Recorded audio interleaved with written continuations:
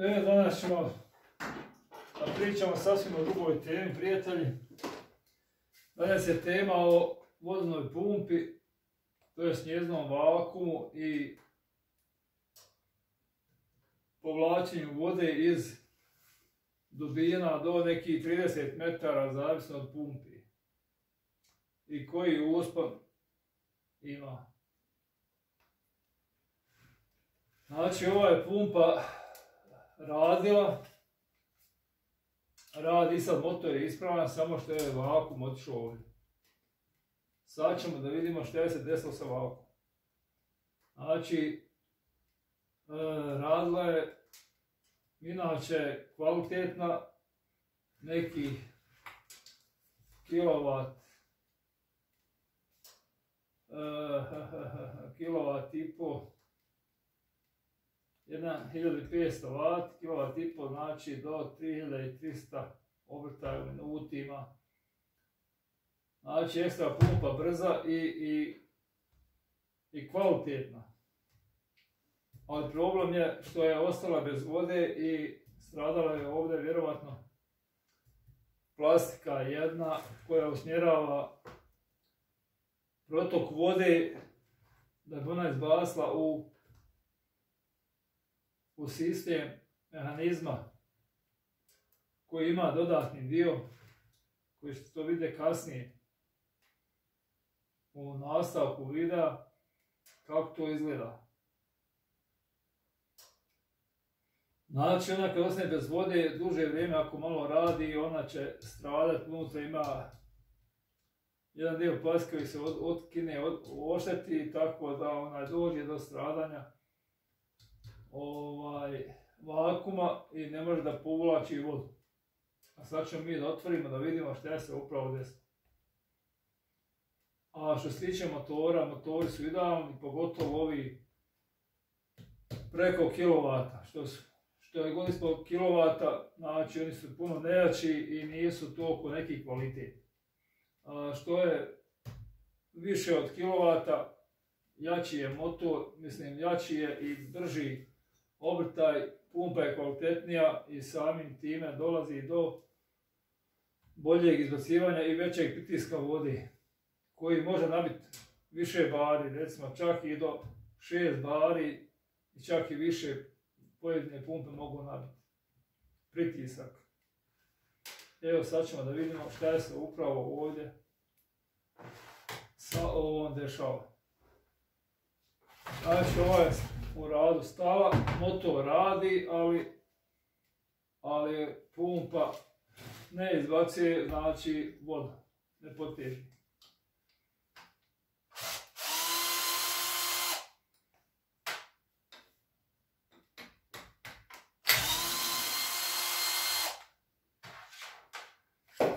Pa ćemo da vidimo šta je se desilo. Nada se desiti da upadne kamen gdje treba da sito dolazi recimo u bunare, u e, zavisno gdje se već veće pumpa. Znači ako dolazi u bunar ili negdje gdje u potoke, u rijeke gdje je nečista voda pa povlači pjesak, treba imati gusto sito.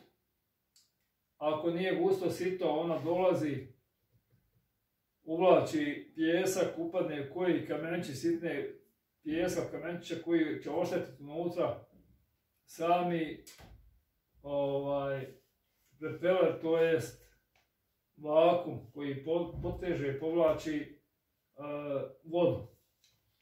A to ćemo sada vidimo kako to izgleda.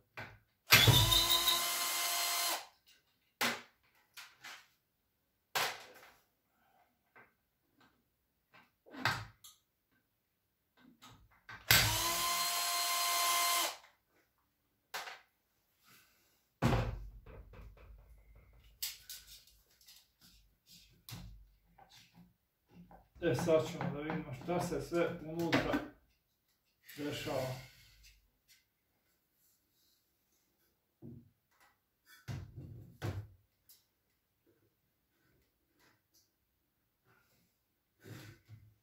Kao što vidite ovdje,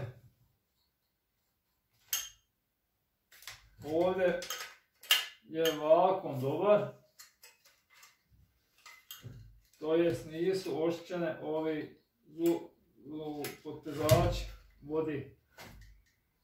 Ne znam koliko vam mogu primakijeti, evo pokušat ću da vam ovo primaknem bolje. Da zoomiram samo.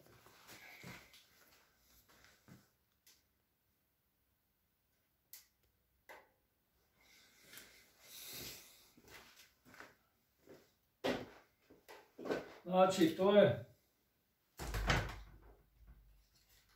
na pumpi najbitnije da su ispravne ovdje pogonske patate, koje lepice, to lepice ovako zove, koje znaju biti oštećene prilikom samog uhvatanja vode. Znači, ako je loše sito, ako uzma pumpa iz rijeke, iz potoka, ne znam odakle gdje je prljava voda i nečista, ona će potegnuti pjesak koji će doći do ovih spirala koje nabijaju pritisak koji dolazi ovdje i izbacuje vamo gore na izlazni dio.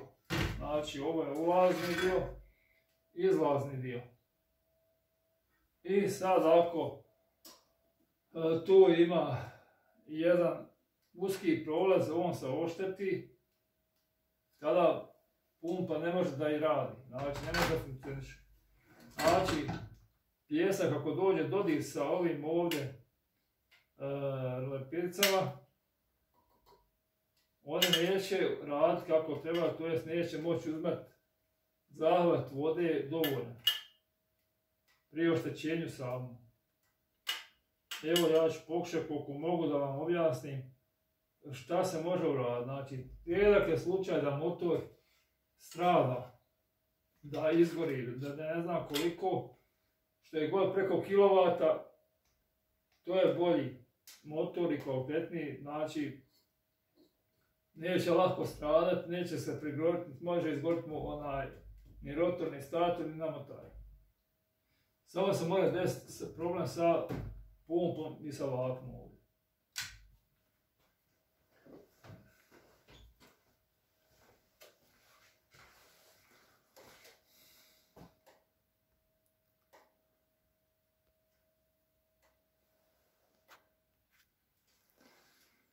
Sad ću ja pokušati da vam pokažem to malo izbliže koliko mogu. Da se zoomira.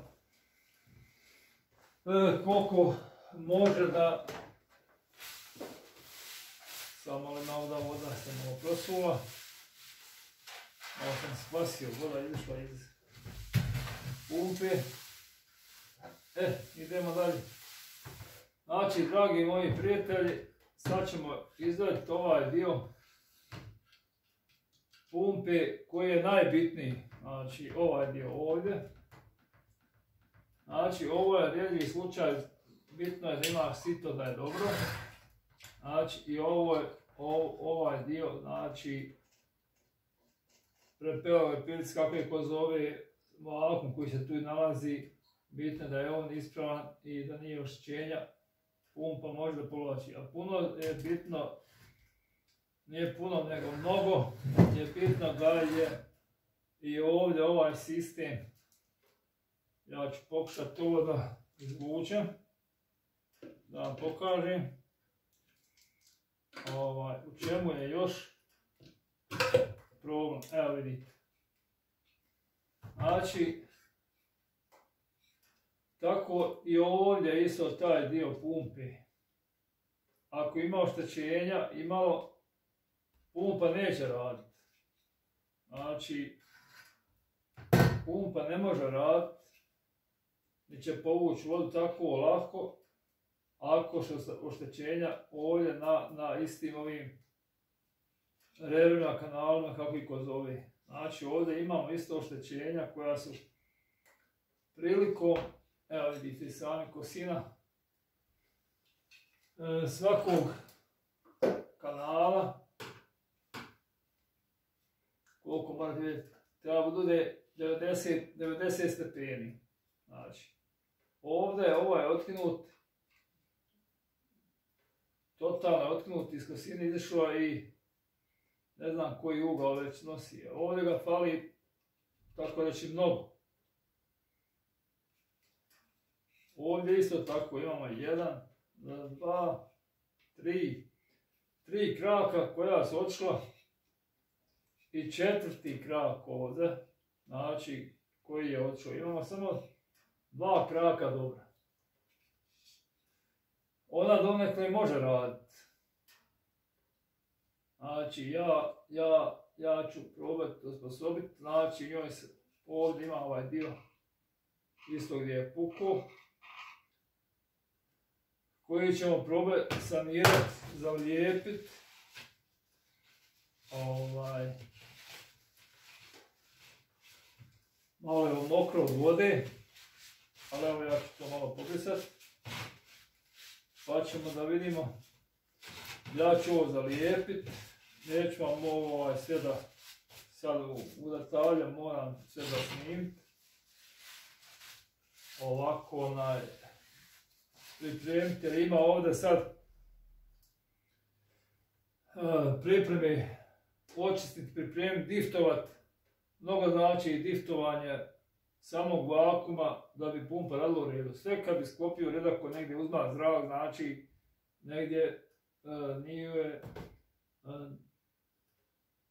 dobar proces zraka.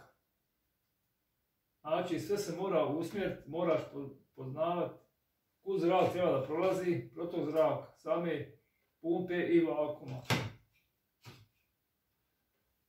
Mnogi ljudi da to rastave, polome peraja,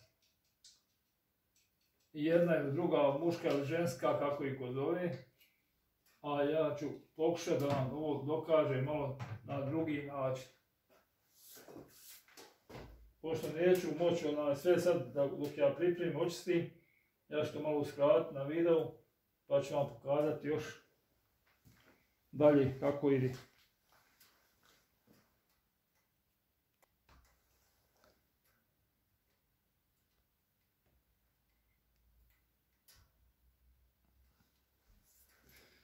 E, kao što vidite, ovdje je bilo isto napuknuće koje sam ja odlijepio. Pokušat ću da vam objasnim šta sam nalazio, vidite i sami. Znači ovaj dio je bio otpo. Ovdje. Koliko ona usavala, toliko je povukla, znači da ovaj dio otpo, glavni dio gdje ona uvlači vodu. Sami ovako. Ona će sad moći raditi, ali ne će biti to nešto to zato što ima oštećenja ovi Evo vidite kako treba da bude ovdje ovaj zazor. A ovdje je već ima oštećenje zbog tog pijeska koji je već uvlačio tako i ovdje. Znači vidite tri komada ima ispravna, tri neispravna. Da bi ona radila kako treba.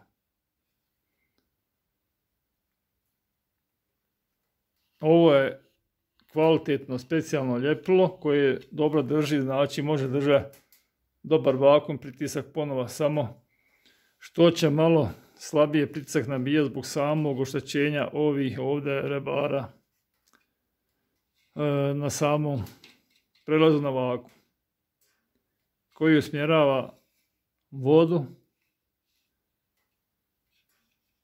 Sad ćemo to da vidimo kako će to dalje da bude.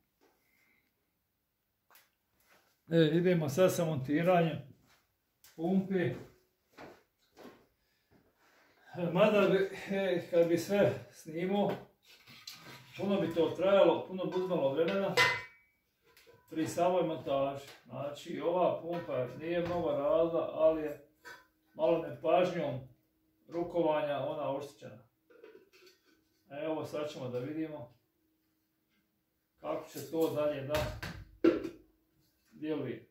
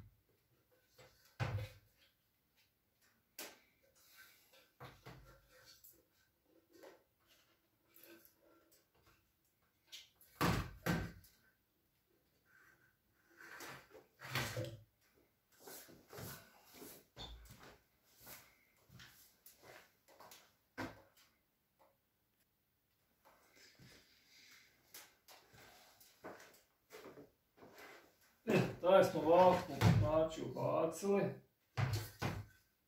Što se tiče pumpe, idemo da je sad smontiramo. E, to je to.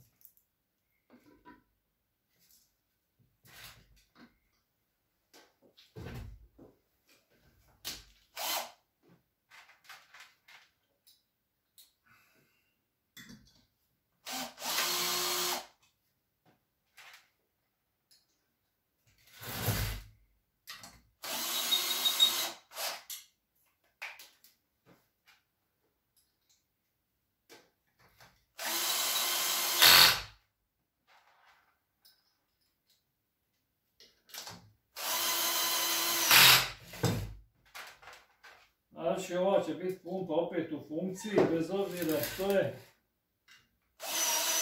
Imala novo topljenje, može proći, a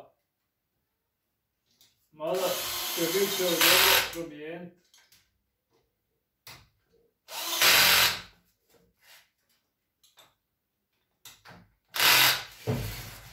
Znači, ova je pumpa spremna za rad ispravan znači, A to ćemo vam pokazati na, na daljem videu. Još ovo ide na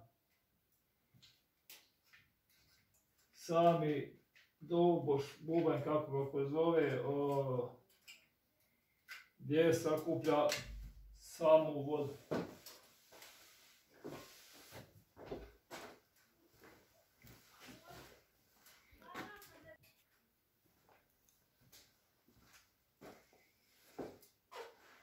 Znači, to bilo za ovaj video, prijatelji. Što se tiče pumpi, može se lako riješiti. Ona je sad znači ispravna. Možemo i probati, a nema potrebe. Tako da ovaj, ona je već spremna za upotrebu. A među vremenu može dugo potrajati još dobro je motor, dobro je što se tiče svega, ovo sve može ostati kako jest. Među ako zatreba može se promijenuti.